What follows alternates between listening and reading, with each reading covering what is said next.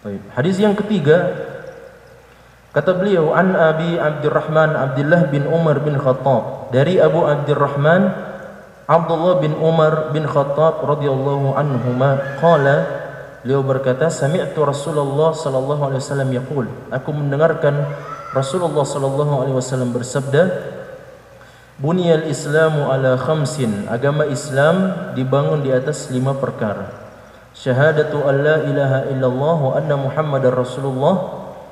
Bersaksi bahawa tidak ada ilah yang berhak disembah selain Allah dan bahawa Nabi Muhammad utusan Allah. Wa iqamis salat dan menegakkan ibadah salat mendirikan ibadah salat wa itaiz zakah menunaikan ibadah zakat. Wa hajjul baiti dan melaksanakan ibadah haji. Wa shaum ramadan dan berpuasa ramadan Hadis ini adalah rawahul Bukhari wa Muslim. Hadis yang diriwayatkan oleh Bukhari dan Muslim.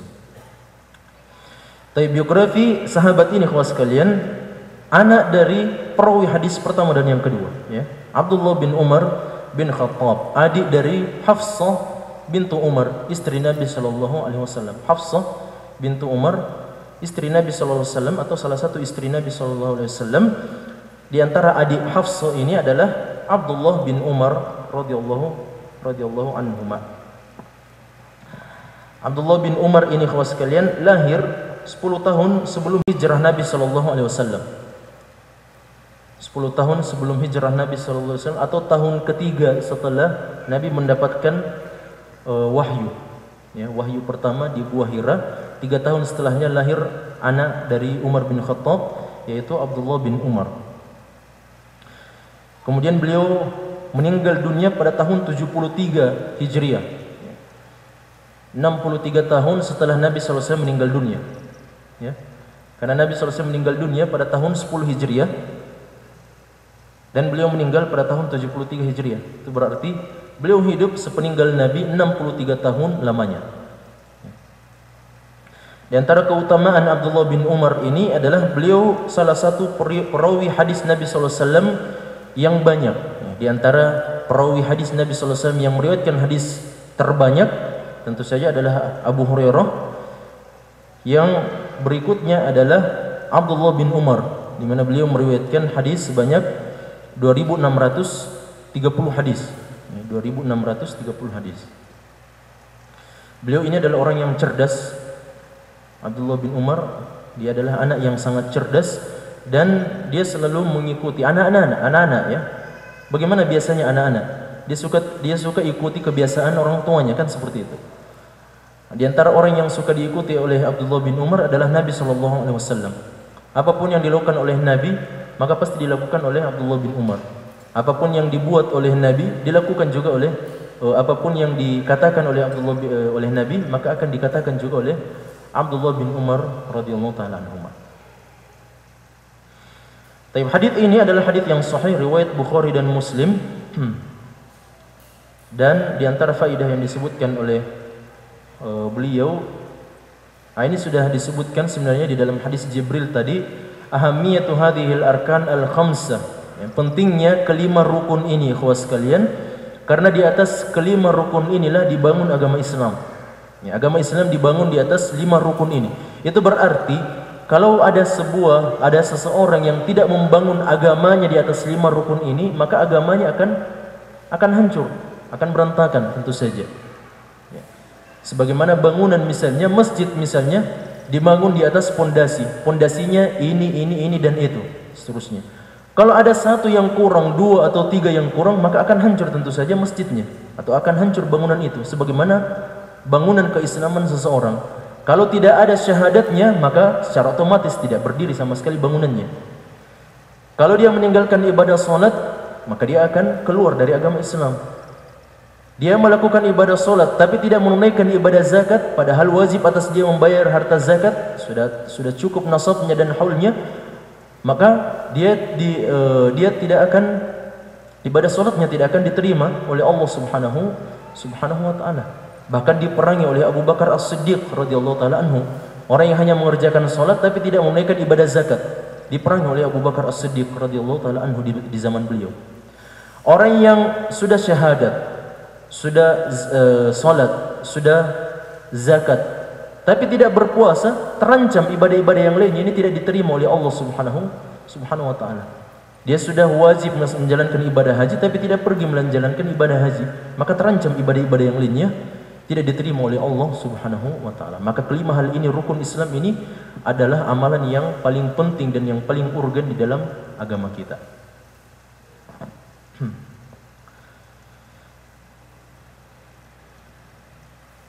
Baik. Dua syahadat ini ikhwas sekalian di antara faedah hadis ini, kedua syahadat ini asyhadu an la ilaha illallah wa anna muhammadan abduhu wa rasuluhu sebenarnya dia adalah dua persaksian. Namun karena persaksian kepada Nabi Muhammad wasallam itu tidak sempurna kecuali dengan persaksian kepada Allah, maka kedua rukun ini menjadi satu rukun yang sama. Maka kalau ada seseorang yang ingin masuk Islam dan mengatakan asyhadu an la ilaha illallah saja, tidak masuk Islam. Karena kedua hal ini meskipun dia adalah dua rukun, namun kedua-duanya menjadi satu hal yang sama. Menjadi satu rukun yang sama. Karena kedua-duanya memiliki keterkaitan yang sangat yang sangat penting. Orang yang beriman kepada Allah harus beriman kepada Nabi. Ya, orang yang beriman kepada Nabi wajib beriman kepada Allah Subhanahu wa taala.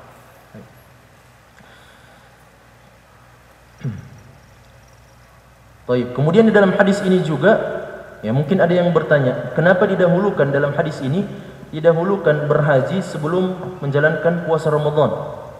Kan biasanya kita tahunya bersyahadat, menjalankan ibadah salat, kemudian menunaikan ibadah zakat, lalu kemudian berpuasa, lalu menjalankan ibadah haji. Itu yang biasanya. Sebagaimana hadis Umar yang tadi kita sebutkan. Namun, namun dalam riwayat ini, riwayat ini ada ya, sedikit terbalik didahulukan wahajjul baiti kemudian disebutkan wasaumu ramadan didahulukan ibadah hajinya lalu kemudian disebutkan berpuasa ramadannya di sini kata para ulama kita Imam Nawawi mengambil riwayat yang disebutkan oleh Imam Bukhari. Imam Bukhari menyebutkan riwayat yang seperti ini ya. yang pertama wahajjul baiti wasaumu ramadan. Ini terbalik. Seharusnya wasaumu ramadan wahajjul baiti. Ini yang betul. Menurut rukun rentetan rukun Islam. Dan sepanjang tahun pun juga seperti itu kan? Seperti itu. Ramadan selalu lebih dahulu daripada ibadah haji ya bulan Ramadan selalu lebih dahulu daripada bulan Zulhijjah. Makanya lebih dahulukan berpuasa Ramadan lalu kemudian menjalankan ibadah haji. Namun Imam Nawawi mengambil riwayat yang berasal dari Sahih Bukhari karena Sahih Bukhari adalah sahih yang kitab yang paling sahih. Makanya beliau mengambil riwayat ini ya. Meskipun kata para ulama kita riwayat yang disebutkan oleh Imam Al-Bukhari rahimahullah itu adalah riwayat yang diriwayatkan oleh seorang perawi hadis ini berdasarkan maknanya. Berdasarkan maknanya. Karena Ibnu Umar periwayat hadis ini ketika mendengarkan salah seorang membalik hadis ini ya wa hajjul baiti wa ramadan maka Ibnu Umar mengatakan la wa shaumu ramadhana wa hajjul bait hakada sami'tuhu minan nabi sallallahu ya tidak seperti itu. Yang benar adalah hajjul bait melakukan uh, yang benar adalah berpuasa terlebih dahulu lalu kemudian menjalankan ibadah haji. Seperti inilah saya mendengarkan dari Nabi sallallahu alaihi wasallam. Ya. Dan ini disebutkan oleh Imam Muslim dalam kitab Sahih beliau dalam dua riwayat. Dalam dua riwayat disebutkan dengan rentetan yang betul. Wa shaumu Ramadan wa hajjul bait. Hmm. Baik. Hadis yang keempat ikhwas sekalian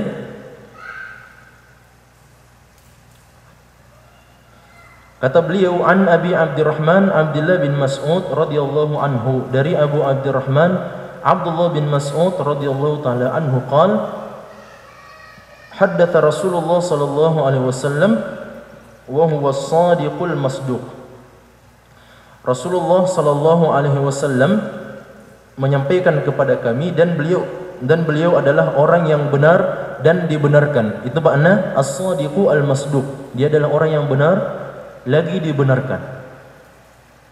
Kata beliau, "Inna ahadakum sesungguhnya setiap kalian yujma'u khalquhu dikumpulkan penciptaannya fi batni ummihi arba'ina yawman nutfatan." Dikumpulkan di perut penciptaannya di perut ibunya sebagai setetes mani selama 40 hari.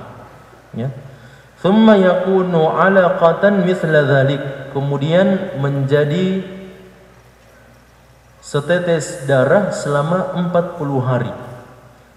Thumma yakunu 'alaqatan thumma yakunu mudghatan mithla dhalik. Kemudian dia menjadi segumpal daging selama 40 hari. Kalau dijumlah berarti 120 hari. Thumma yursalu ilaihi malaku. Kemudian diutus kepadanya seorang malaikat Fayanfukhu fihi ruh. Maka malaikat itu meniupkan ruh kepada janin tersebut. Wa yu'maru bi arba'i kalimat. Kemudian diperintahkan untuk menetapkan empat perkara. Bikat birizqihi untuk menuliskan rezekinya. Wa ajalihi dan ajalnya. Wa amalihi dan amalannya.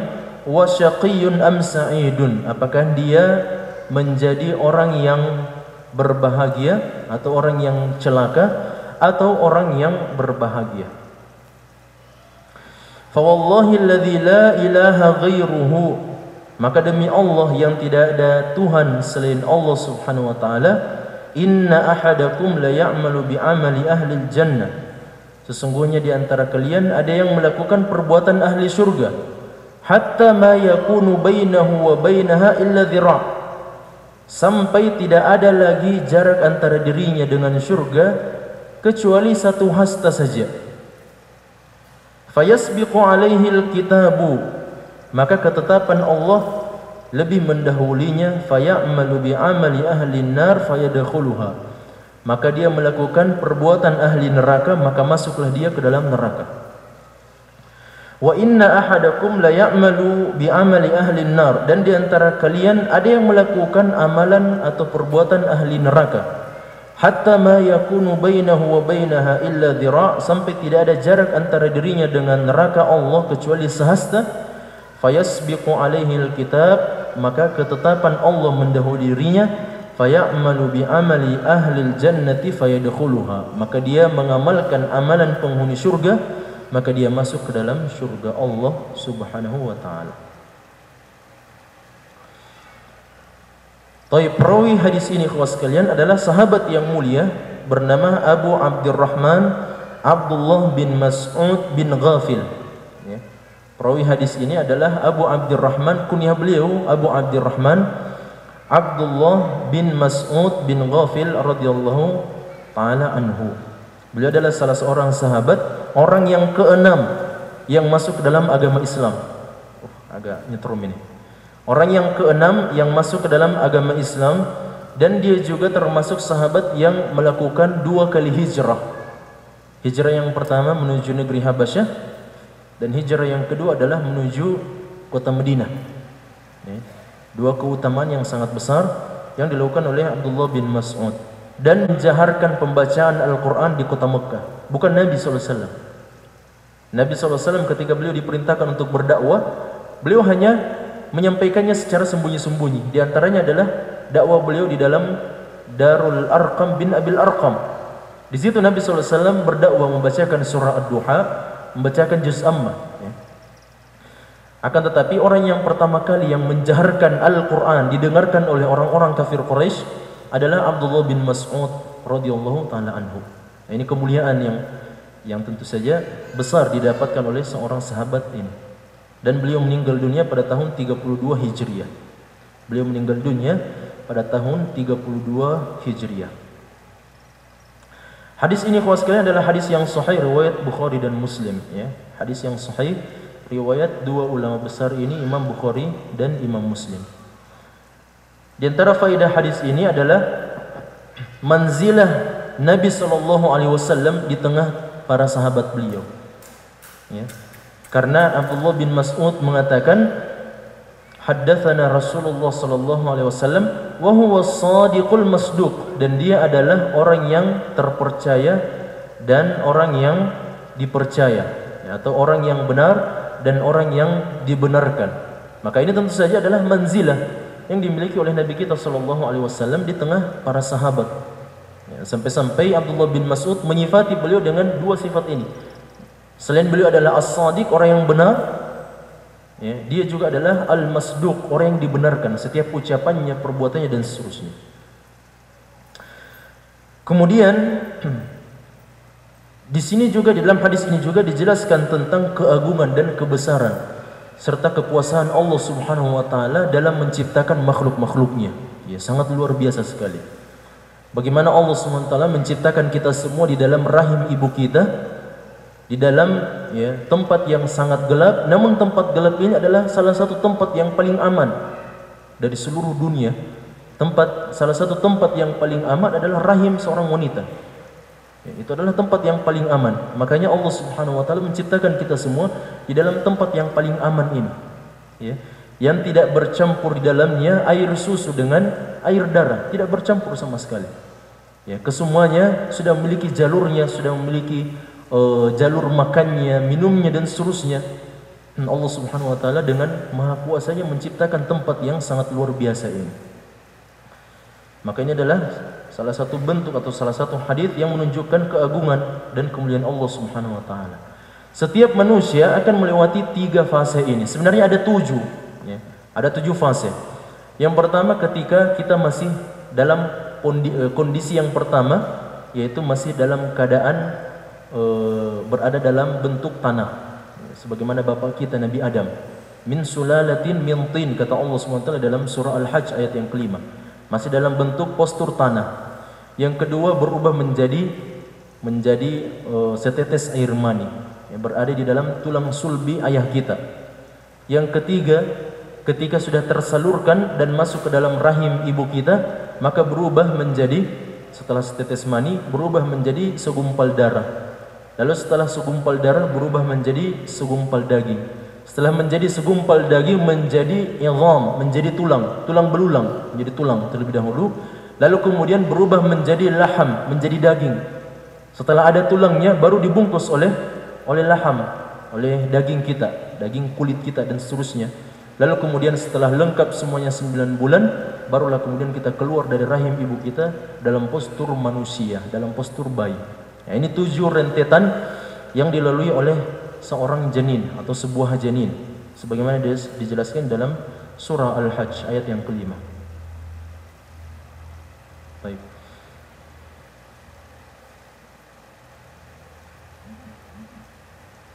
Di dalam hadis ini ada obat bagi orang-orang yang suka takabur. Ya. Kalau antum lihat ada orang yang suka takabur, maka sampaikan hadis ini atau sampaikan surah Al-Hajj ayat yang kelima itu. Anda ini awalnya cuma setetes mani, ya. Cuman setetes mani, ke mana-mana membawa kotoran. Perut kita ini kan di dalamnya ada kotoran. Nanti mati, meninggal dunia menjadi bangkai. Mau mau dikemanakan ego kita, kesombongan kita. Ya, tidak perlu bersikap sombong di hadapan umat manusia. Kemudian di antara faidah hadis ini khawas sekalian, hmm, bahwasanya hadis ini mengajarkan kepada kita bahwa amalan yang paling penting dan yang harus kita berikan perhatian yang paling besar adalah amalan-amalan terakhir kita. Makanya Nabi SAW mengatakan, Innamal a'malu bil khawatim. Sesungguhnya setiap amalan-amalan itu bergantung bagaimana kondisi terakhirnya. Bergantung bagaimana kondisi terakhirnya. Dan amalan yang paling besar kita, coba sebutkan apa amalan yang paling besar dari dari seorang manusia. Hah? Amalan yang paling besar. Jihad fisabilillah masih kecil dibandingkan dengan apa yang kita sebutkan nanti. Haji apa? Ya. Uh, saya tidak kurang dengar. Ya. Amalan yang paling besar ikhwas sekalian, amalan seorang muslim yang paling besar adalah hidupnya. Itu amalannya. Hidup kita ini berisi kumpulan-kumpulan amalan. Imam Malik mengatakan innama anta ayyam. Kita ini manusia adalah kumpulan hari-hari. Setiap hari kumpulan hari-hari ini adalah adalah hari yang diisi oleh amalan-amalan tertentu, puasa, zakat, haji dan seterusnya. Semua itu adalah amalan yang berdiri sendiri di dalam tumpukan amalan-amalan amalan yang paling besar yaitu hidup kita. Yaitu hidup kita. Maka yang paling penting dari amalan terbesar ini, amalan hidup kita ini adalah bagian terakhirnya ketika kita berada dalam sakaratul maut. Makanya yang sangat penting sekali adalah bagaimana kita berusaha untuk husnul khatimah. Berusaha untuk husnul khatimah. Makanya Nabi SAW mengatakan, ada di antara umat manusia yang melakukan amalan-amalan, zahirnya dia melakukan amalan-amalan penghuni surga. Tapi ini secara zahirnya saja. Niatnya wallahu a'lam. Apakah niatnya itu untuk takabur di hadapan manusia atau ikhlas kepada Allah atau untuk mendapatkan pujian dan seterusnya, tidak ada yang tahu. Maka orang-orang yang memiliki kemunafikan seperti ini ikhwas sekalian, kelihatannya zahirnya adalah orang yang saleh, orang yang taat kepada Allah, namun itu hanya dalam zahirnya saja, maka di akhir kehidupannya di akhir kehidupannya dia tidak akan kata para ulama kita dia tidak akan menghabiskan masa yang paling terakhirnya kecuali dia akan nampakkan jati dirinya yang sebenarnya. Akan keluar dan akan muncul jati diri yang sebenarnya yang selama ini yang selama ini dia sembunyi-sembunyikan dalam hatinya kemunafikannya itu akan keluar makanya Nabi SAW mengatakan di dalam sebuah hadis Nabi SAW yang sahih Allahumma inni a'udzubika min munkaratil maut Ya Allah saya berlindung kepadamu dari mungkaratul maut. Mungkaratul maut itu ikhwas sekalian adalah hal-hal yang kita ingkari ketika kita berada dalam keadaan sakaratul maut. Dalam sak sakaratul maut kita tidak tahu apa yang kita lakukan. Dalam sakaratul maut kita tidak tahu apa yang kita katakan. Boleh jadi ada anak-anak kita yang datang, semua anak-anak kita ini kita laknat, tidak tahu sama sekali. Karena pedihnya dan beratnya sakaratul maut pada saat itu. Dalam keadaan perih dan berat inilah kita tidak tahu apa yang kita lakukan dan kita tidak sadar apa yang kita ucapkan dan seterusnya. Makanya ada orang yang mengatakan nanti di akhir di akhir hayat saya insya Allah saya akan mengucapkan la ilaha illallah. Tidak semudah itu. Ketika itu yang berbicara bukan lidah kita ini, yang berbicara pada saat itu adalah amalan kita selama kita hidup. Itulah yang berbicara. Bahkan dalam hari kiamat nanti ketika ditanya oleh Allah Subhanahu wa taala, yang berbicara ini bukan mulut, karena mulut ini akan ditutup oleh Allah Subhanahu Subhanahu wa taala. Yang berbicara adalah kulit kita. Kulit ini yang berbicara, telinga yang akan berbicara, mata yang akan berbicara, rambut yang akan berbicara, kaki yang akan berbicara, semua anggota tubuh kita akan berbicara, memberikan persaksian yang baik kepada kita atau memberikan persaksian yang buruk terhadap kita. Maka ini pentingnya menjaga kehidupan kita sebagai kumpulan amalan-amalan yang besar Lalu kemudian di akhir kehidupan kita amalan-amalan yang baik inilah yang akan menuntun kita memudahkan kita untuk untuk mengucapkan kalimat la ilaha illallah ya.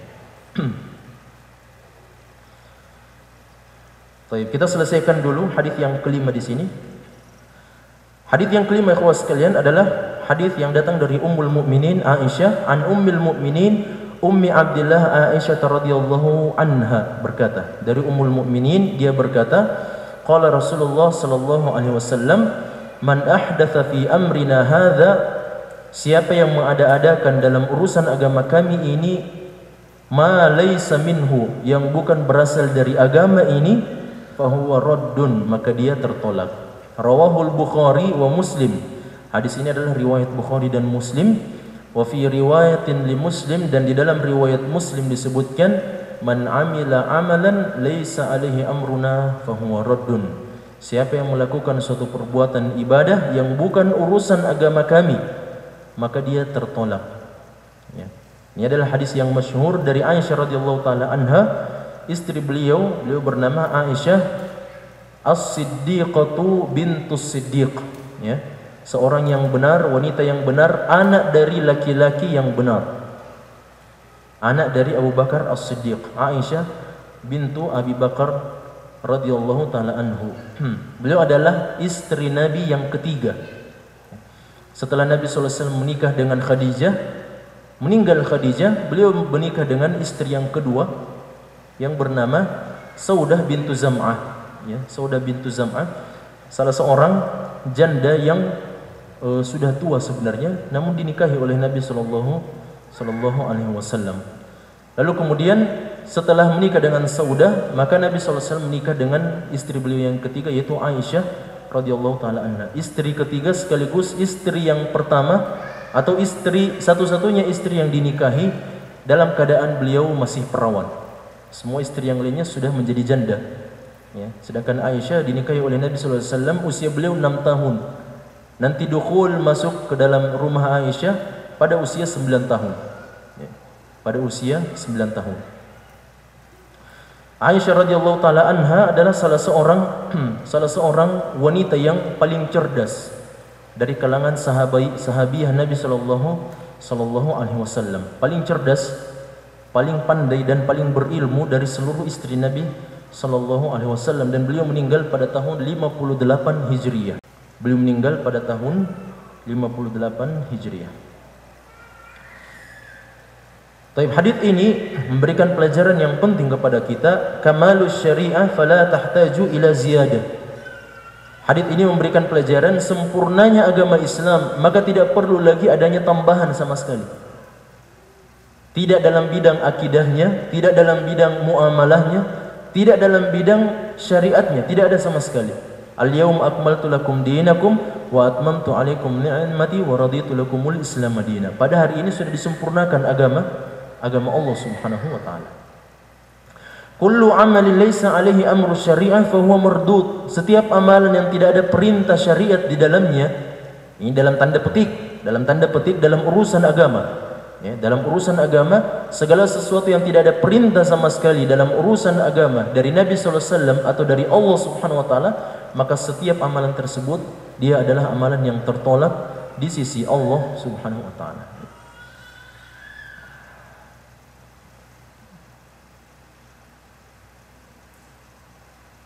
Taib. Di dalam hadis ini juga hadis ini menjadi uh, dalil dasar atau dalil yang paling utama untuk menolak semua jenis bid'ah yang dibuat oleh umat manusia. Ya, sepeninggal Nabi sallallahu alaihi wasallam ada banyak sekali bid'ah yang dihidupkan oleh umat manusia. Sebagaimana perkataan beberapa ulama kita, setiap tahun ada bid'ah yang dihidupkan oleh umat manusia dan pada waktu yang sama ada sunnah yang di, yang sengaja dimatikan oleh umat manusia. Ya, ada sunnah yang di, yang sengaja dimatikan oleh umat manusia. Ibnu Mas'ud radhiyallahu taala anhu juga mengatakan dalam sebuah perkataan yang masyhur bahwasanya seorang mukmin itu cukup untuk al-ittiba mengikut kepada Nabi sallallahu alaihi wasallam dan dia tidak perlu melakukan perbuatan ibtida. Ibtida artinya membuat sesuatu yang baru dalam urusan agama, ya. Dalam urusan dalam urusan agama. Bid'ah ini jamaah sekalian, dia berkaitan dengan enam hal. Kalau dia berkaitan dengan masalah agama, maka lihat enam hal ini. Yang pertama sebabnya. Hmm. Yang kedua adalah jenisnya. Yang ketiga kaifiatnya, caranya. Yang keempat jumlahnya. Yang kelima adalah tempatnya dan yang keenam adalah waktunya. Kalau seseorang melakukan sebuah ibadah, sebuah ketaatan kepada Allah Subhanahu wa taala dan ketaatan itu berkaitan satu dari enam hal ini sedang tidak ada perintah dari Nabi sallallahu alaihi wasallam maka dia termasuk perkara bid'ah. Wa kullu bid'atin dhalalah dan setiap bid'ah di sisi Allah Subhanahu wa taala adalah sesuatu kesesatan. Wa kullu dhalalatin finnar dan setiap kesesatan tempatnya adalah neraka Allah subhanahu wa ta'ala Baik, kita cukupkan sampai di sini untuk sesi yang pertama ini. Hmm. Mm-hmm.